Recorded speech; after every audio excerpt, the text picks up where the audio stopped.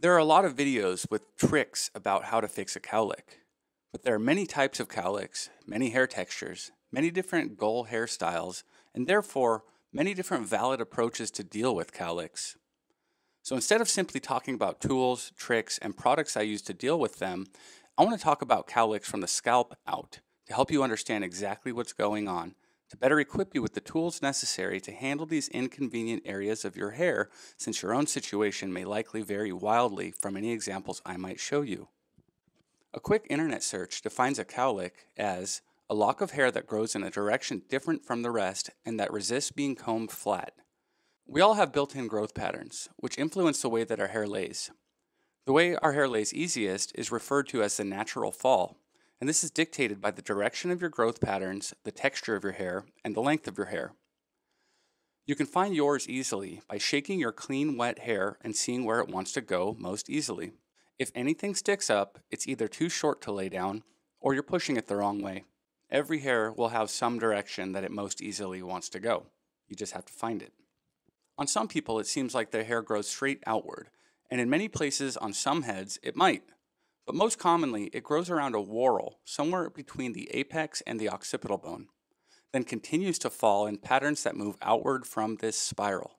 On most heads, this turns clockwise, but I've seen the occasional counterclockwise whorl, and I make sure to let the client know that they might have X Men like powers because they're so unique. Anyways, this is why your hair may slick back easily on one side, but not the other side, as one side is growing forward and the other side grows back. Sometimes halfway across the head, this direction will change, and you'll find hair in front that wants to lay opposite the hair growing out of the whorl. Sometimes you'll get just small areas in the corner of your forehead that decide to grow the other way. Sometimes right at the nape, you'll get areas where hair grows straight upward, pushing against the rest of the hair on the head, growing downward. Sometimes a person can have two whorls near the crown. These growth patterns come built in when you're born, in fact, the first feature I saw of my daughter was the growth patterns on the top of her head. Knowing they exist and finding out what yours are doing is step one. After that, we can decide if we're going to follow them or overpower them. But you don't want to make that decision until you know exactly what's going on with your growth patterns. Comb your wet, clean hair into its natural fall. If anything is sticking up, it's probably going the wrong direction. And if this is happening in small areas where everything else is laying nicely, you've probably got a whorl or a cowlick on your hands. Keep going until you get everything to lay nicely, even if it isn't the direction of your ideal style.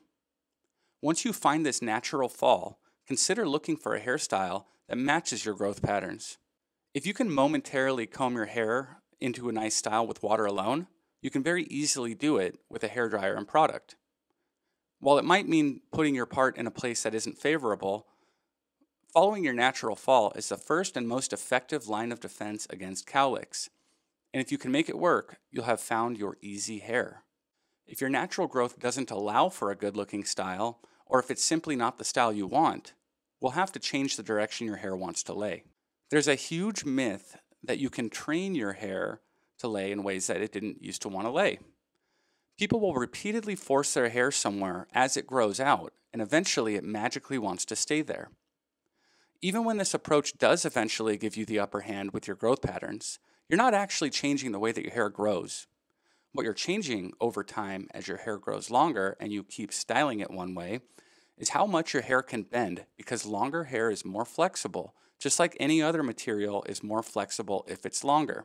Because of this, you're also then able to have more control over how your hair sets, which is why your hair starts to cooperate more throughout the day. It's not that it started growing differently, it's that you're able to set it now.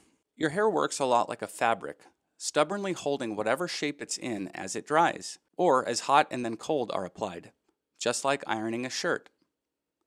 This is called setting your hair, and it happens every time it dries, or any time you hit it with heat from a hairdryer or an iron. We call it a wet set when the hair is held in place using a gel or pomade while it dries and sets in place. We call it thermal styling when the hair is set using a blow dryer or an iron. This setting of the hair is by far the most powerful aspect of hairstyling, offering more influence on the finished style than even the heaviest products. When you don't have enough length to fully control a cowlick and set it where you want it, you will get it to bend some from where it grows, but that's exactly when it sticks out, it can't make the full 180 degree bend to lay flat in the opposite direction. This is an awkward phase that a lot of people actually actively work to maintain. A lot of people, myself included, often opt to handle certain cowlicks temporarily by just cutting them short and letting them stick out. But that means the problem will grow back in a short time. It's only a good solution for someone who wants short hair and frequent haircuts. The long term solution that lasts is to grow the hair long enough to bend all the way against the growth pattern and then to set it there daily by styling. With all of this said, I want to share my own thoughts on cowlicks based on my work with clients over the years. You see, cowlicks are a problem that mostly occurs in the head, not on the head. Most of us hate our cowlicks not because they actually look bad, but because we can't control them, and therefore we assume they look bad. If we look at celebrities and style icons, if you will, we can easily find many cowlicks. We just don't notice them because, well, people don't notice yours either. You notice them and you worry about them, but if they're left to run wild with the right haircut, they can actually look just fine. So let your cowlicks and growth patterns bother you only as much as you want to be bothered. Follow the advice I laid out here and pick a solution that works for you. Thanks for watching. Please like and subscribe if this was helpful.